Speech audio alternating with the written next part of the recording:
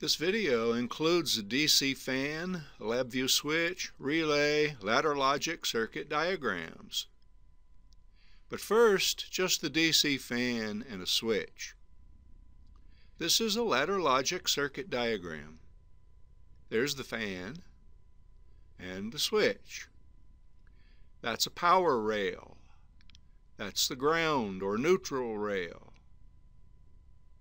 And that's called a rung. It's like the rung of a ladder. The switch is shown in its normally open position. When the switch is closed, the fan will be connected to the 10 volt power rail.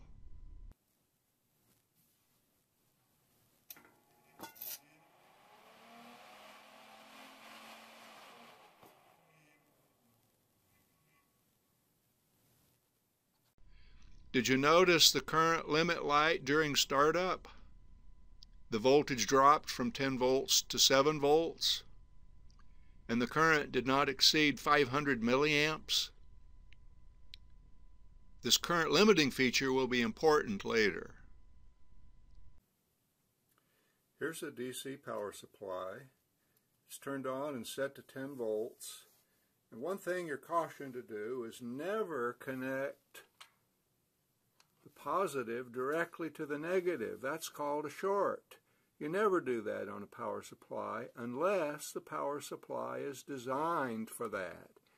It would be designed for that if it has a current limit, limit feature. In other words, it's a very nice feature that allows the current to be limited to any set value.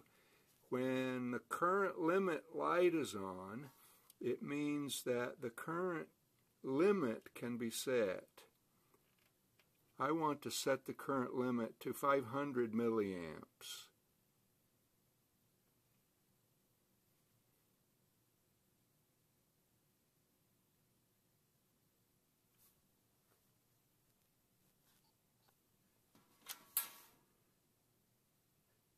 And now, no matter what is connected at 10 volts, the current will never exceed 500 milliamps. Now replace the real switch with a LabVIEW switch. That's the virtual switch on the uh, screen, on the computer screen. How to write this computer program in the language called LabVIEW later.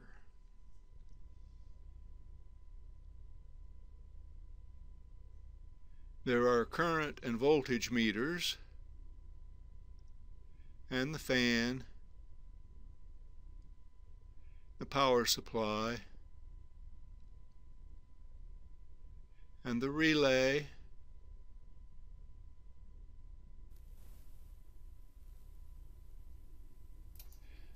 The LabVIEW switch is turned on. The LabVIEW switch is turned off. The voltage created by LabVIEW appears at the terminal block. The voltage is applied to the relay.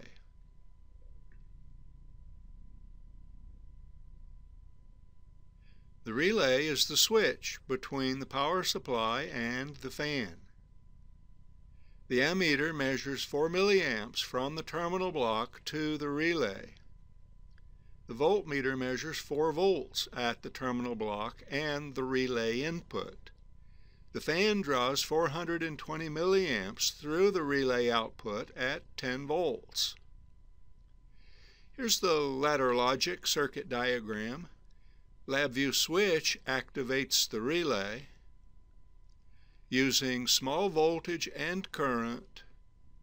The relay contacts close when the relay is activated then the fan is energized and draws a hundred times the current that LabVIEW can provide.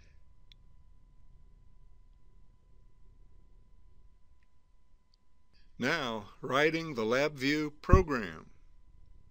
Start LabVIEW. Open a blank VI. VI stands for Virtual Instrument. Every VI has a front panel and a block diagram. Tile up and down so that you can see both at the same time. That's the front panel, and that's the block diagram. Right-click on the front panel and select Classic, then Classic Boolean, then Vertical Toggle Switch.